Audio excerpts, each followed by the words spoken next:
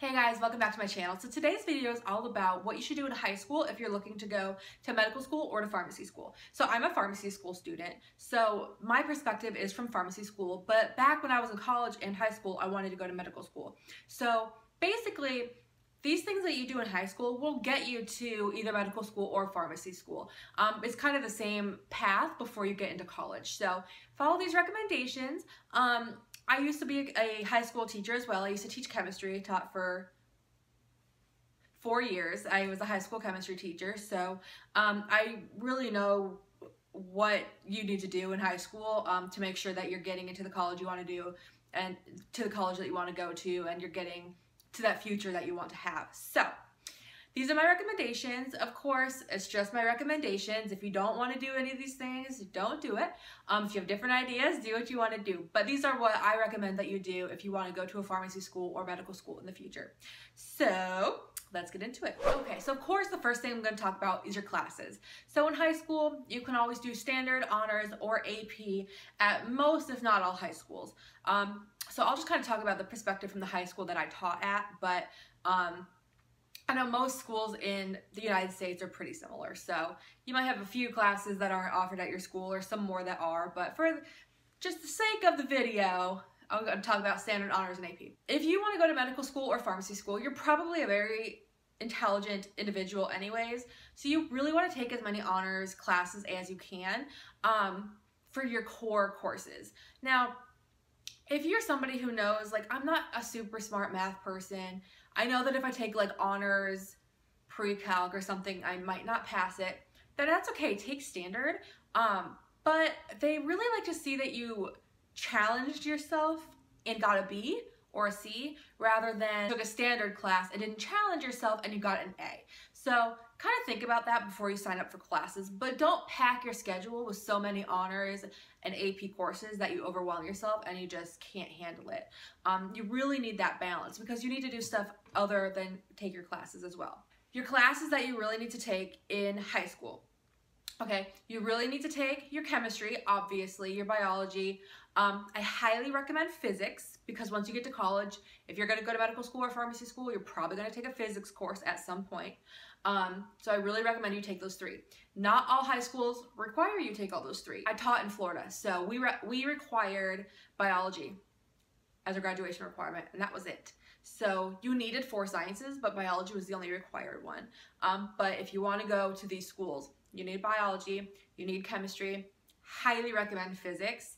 Um, and then once you get those out of the way, you have, you know, kind of your other options for um, your AP classes or your electives that you can take. So um, after you take those core classes, and again, physics, recommendation, you don't have to, but I, I would.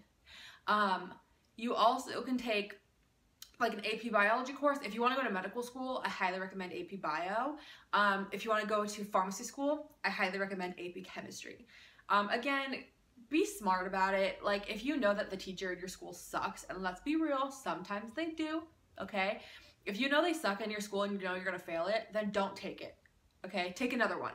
But if you think like, oh, they're pretty good, like I think I can pass it, you know, you put in your hard work, do it. If you have like an anatomy and physiology class, that would be a great one to take as well as an elective.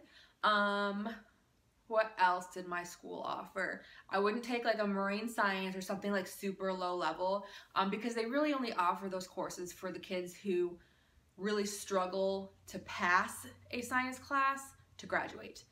Those are really what those courses are for. So I wouldn't take a really low level science unless your school just doesn't offer the APs. Um, even taking anatomy, I would take it honors if it's offered to you. You want to do as many honors as you can because you really want to get that GPA up.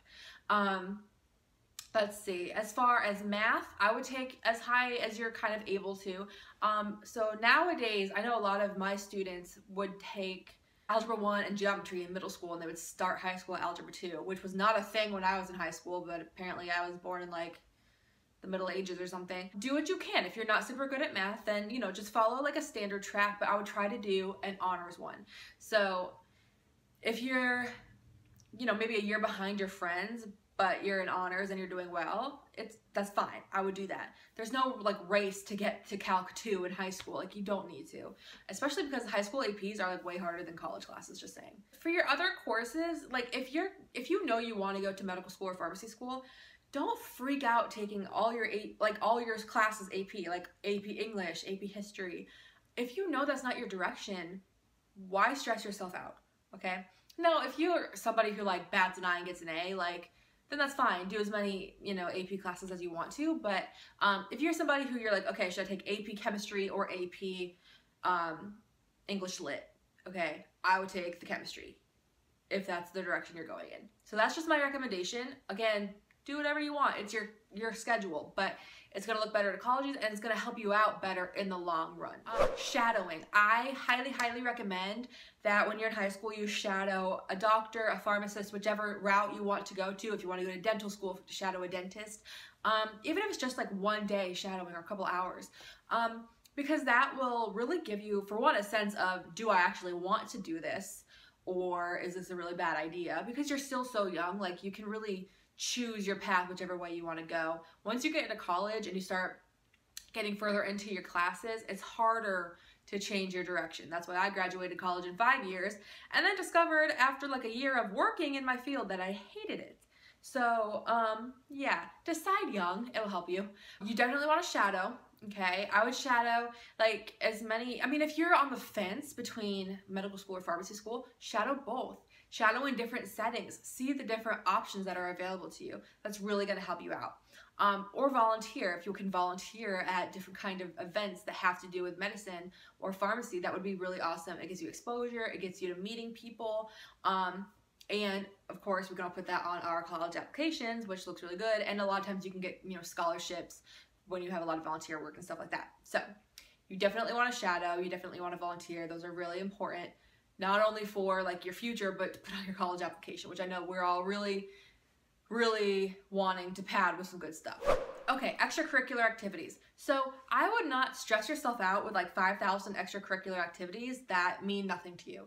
Um, because you're gonna have like your plate spread so thin, you're not gonna have time to devote to everything. Your classes are gonna suffer.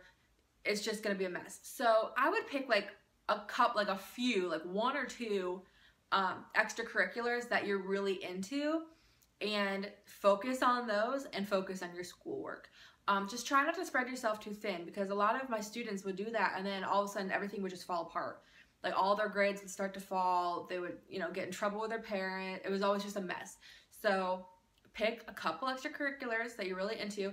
And if you want to go to medical school or pharmacy school, I highly recommend like a pre-med club if your school has that or an honor society like National Honor Society, Spanish Honor Society, um, Beta Club. A lot of schools have that. Different like volunteering kind of clubs. Highly recommend those um, because again, those are all things that you can put on your college applications too. But it gives you exposure and seeing different things. Um, sports are great because they make you really well-rounded, and they like to see people who are very involved in different things outside of medicine because it really makes you a well-rounded person. So um, look into those things. I would definitely do something. Don't just like focus on school and that's it. You really need to have some extracurriculars. For one, as an outlet for yourself, but so that you have that on your application as well. Okay, so I was to talk about test scores. Once you get to applying to medical school or pharmacy school, they don't care about your SAT or ACT scores from high school but it's a stepping stone. You need good SAT and ACT scores to get into a good four-year university so that you could get your degree if that's what you want to do. Some schools don't require a degree, so look look at that first. But if you want to get, you know, your degree, you need good SAT, ACT scores. And then you need to take your PCAT or your MCAT, depending on which school you want to go to, and apply to your school. So do well in your SATs and ACTs. I would study and, and do well so that you can get into a good four-year college. But if you're someone who knows that you're going to go to a community college for a couple years and then transfer, or just go to a community college, take your prereqs, and apply to pharmacy school, then you don't even need to take it. So make sure you do your research. That's like the biggest thing that you can do because then you're really going to guarantee that you're on the right path. So like I was just talking about, you really need to do your research, okay? So if you're like, I want to go to medical school, that's it. I know 100%. I've shadowed, I've volunteered. I see what it's about. I got this research different medical schools, find out which ones you are going to want to apply to, make a list of all the courses that you're going to need in college um, so that you don't miss any of them. Okay, and then just make sure that you really do everything that you need to do to get into those schools.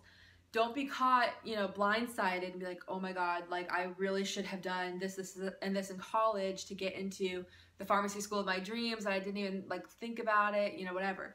Make sure you research it. Um, research whether or not your medical school accepts um, prerequisite courses to be taken at a, community college because sometimes they don't and that can really mess you up. So big thing is to do research on what schools you want to go to and what their requirements are, if there are any, you know, fine print, any stipulations as to what courses they accept over others. Um, also, make sure you research whether or not that school requires a four-year degree or not because um, I know a lot of pharmacy schools, they don't require a bachelor's degree. They just require that you take the prereqs and then you apply. Um, some medical schools are different, so again, do your research. That's really going to help you in the long run. Okay guys, those are all the tips I have for what you should do in high school if you're planning on going to medical school or pharmacy school. Um, these are not the end all be all, you know, you can take other courses, um, you cannot take those courses and then just, you know, kind of do your best in college. It's all about just doing well in college so that you can get into those schools because medical school and pharmacy school does not look at your high school transcripts or anything like that. So that's kind of all up to you. Do you want to, you know, work hard now or do you want to kind of wait? I wouldn't wait. That's your decision. So that's all I have. If you have any questions or suggestions or comments, please leave them in the comments below. Um, give this video a thumbs up and subscribe if you haven't already. And I will see you in my next video.